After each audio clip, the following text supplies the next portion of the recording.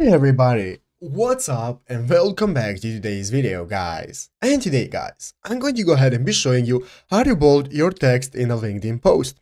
This is a very simple thing to do guys, so make sure to watch this quick and easy video till the very end and follow my steps correctly so you can make sure this works the same for you and that you can do this yourself. But yeah guys, let's get straight into it. So guys, the first thing you want to do is go ahead and open up the official linkedin.com website right here and log into your account. And after logging into your account, guys, you'll be greeted by this main page right here, which is the homepage of LinkedIn, where you can see all the posts by people you follow.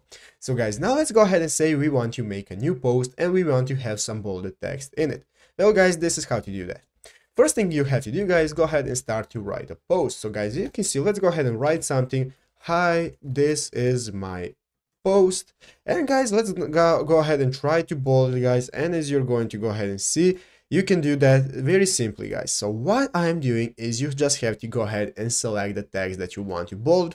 So guys let's say we want to bold this text right here that says post. And then you have to go ahead and click the control button on your keyboard. So control plus the b button. So guys control plus b click those buttons guys together and as you can see you will automatically bold your text and it will be bolded. So now you can go ahead and post this and as you can see you're going to go ahead and post bolded text. So i hope this video was helpful guys. If it was make sure to leave a like subscribe to the channel. So guys thanks for watching. Take care and bye